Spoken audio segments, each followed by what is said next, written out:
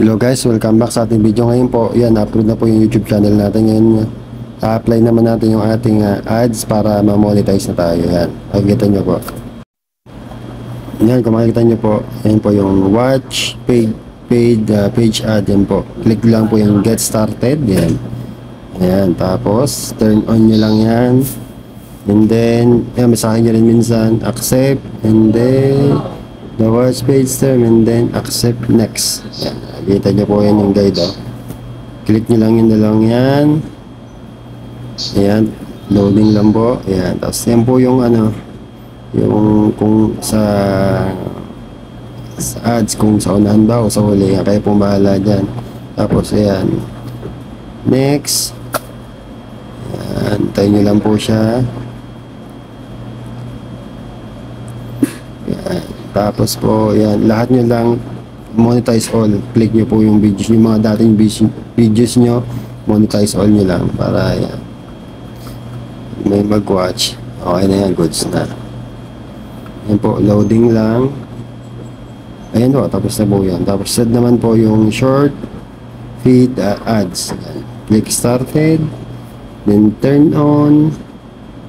Tapos yan, basahin nyo lang po yung terms and condition. And then apply, accept. Same lang po. And then yan, turn on. Yan po, basic lang, napakadali. Tapos, tapos, tapos, supers. Yan. Yung membership, uh, inano muna natin kasi mahaba yung pag yun eh. Skip muna natin yan. Tapos yung tayo sa supers.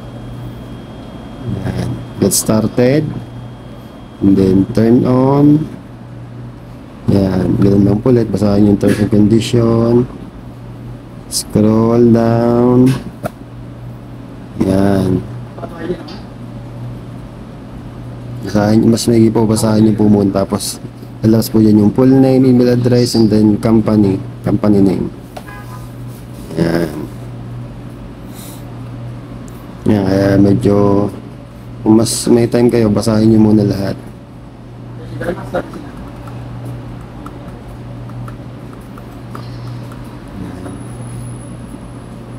Bago lang kayo sa YouTube ko, pa-accept naman po. Pa-subscribe, and then watch. Yan. Yan po. Ito nyo lang po dyan, full name. Yan po. Yan. Type nyo lang dyan.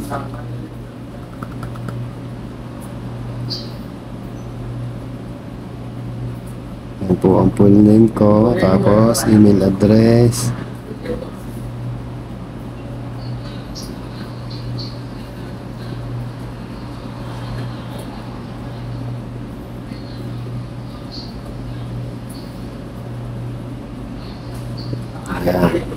Tapos dito po sa company name, kung may mga inaano kayong company or wala naman individual lang, yan, lagay nyo lang dyan, NA, not applicable. Tapos ganun din, check, I have read this one and condition, tapos accept. Yan yan po yung nalabas nyo. Ayan, makikita nyo sa may ah, NA lang po kung wala kayong nire-represent na company, NA po ilalagay nyo dyan. Napakadali lang po niya pag ating pag-apply sa ating uh, monet- monetization para paglalagay po ng ads yan. Check and then accept. Yan. And then turn on yan o tapos na po yan. Napaka basic lang.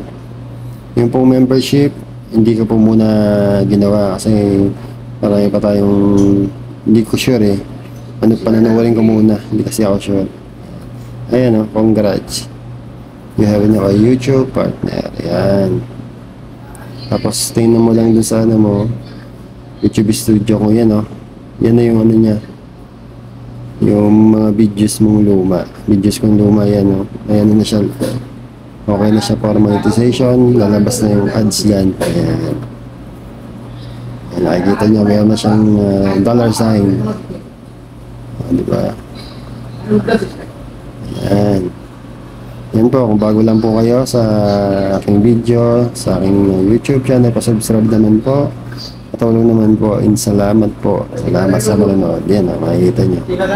Yan. Wala pa naman na kasi, ka-apply pa lang natin. Siguro mga 3 days, 4 days yan. Tayo natin. Kasira pa siya, oh.